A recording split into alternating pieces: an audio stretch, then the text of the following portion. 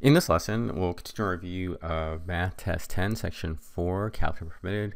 We're now on question 24. We're doing 24 through 26.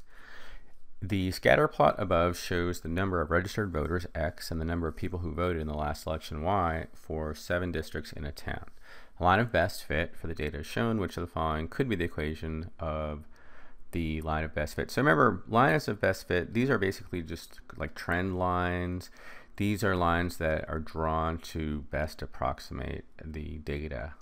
And they're obviously they're lines, they're linear. We just have to find the equation. And so all we really have to do is just find the slope. And if you notice, um, it passes through the origin here. I know it's not zero, zero, but the origin is on this graph.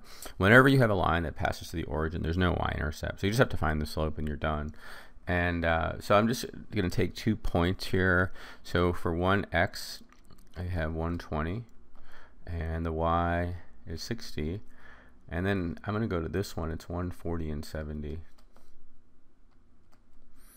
And you can almost see, I mean, you could almost just estimate this without using the formula, but you could see like it, this is twice as much. This is twice as much. If you do another point here, it's twice as much. So the change in y, it looks like every time x goes up by 20, then y goes up by 10. Okay, so think about the slope. That would just be 1 half. But we could use the formula as well if you want. So y2 over y, we did a problem like this in the last video. So 70 over 70 minus 60, that's going to be 10. 140 minus 120 is 20. So it's just 0.5. So, and it's upward, obviously, it's going up. And so the answer here is B. All right, let's take a look at 25 and 26. Excuse me. The system of equations above is graphed in the xy plane. What is the x-coordinate of the intersection point xy of the system? And so sometimes you have questions like this. We saw a problem with no solutions where they're parallel, they don't intersect.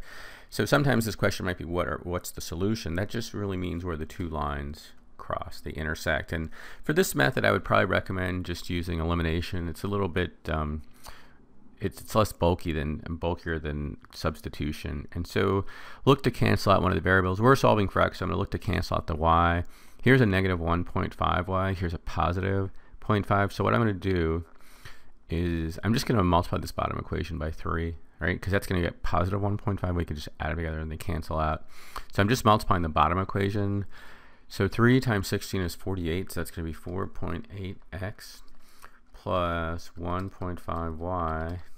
Again, you could use your calculator here, but um, these aren't too difficult. So 13 times 3, that's 39. So it's going to be negative 3.9. So now I just add the two, right? Here's the original, I just add them together. We know the middle ones are going to cancel out.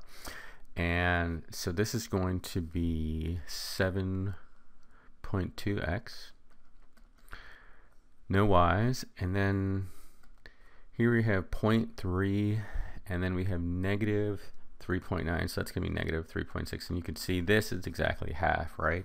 And it's negative, so x is going to be negative 0.5. All right, one last question on this page. We do number 26.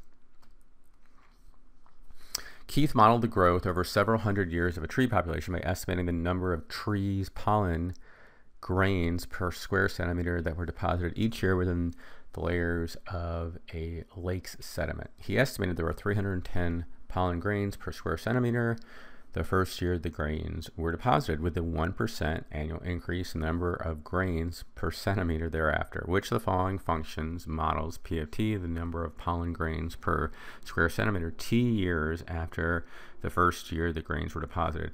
And so this is we had a question like this earlier. We're identifying if it's linear or exponential. One percent annual increase every year is going to be exponential, right? Because it's not a flat amount. Because each year with the one percent increase, the principal, the starting value gets bigger. You should recognize right away this. It, if you look at the choices, you just have to know the formula for exponential growth, and the p is always the original amount. The um, so we're told that the first year there are 310. So let's just review the formula for exponential growth. A lot of times they use like bank deposits, so P is like principal, and then it's one. it's going to be plus r or minus r depending on an increase or decrease. So this is the rate as the decimal. And let's say it's an annual rate of 5%. It'd be then 1.05. If it's annual, this t has to be a rate that's consistent with the growth rate. And so this was not a hard question. Again, if you know the formula, 310 is the original value. That's the p. We know it's an increase, so it's 1 plus. If it were a decrease, it's 1 minus. But it's 1 plus 0.01. That's 1% as a decimal, which is 1.01. And it's annual as long as this exponent up here, this t, is annual, then it's totally fine. And we're told that t is the number of years, and so it is consistent, and it's simply D for this question.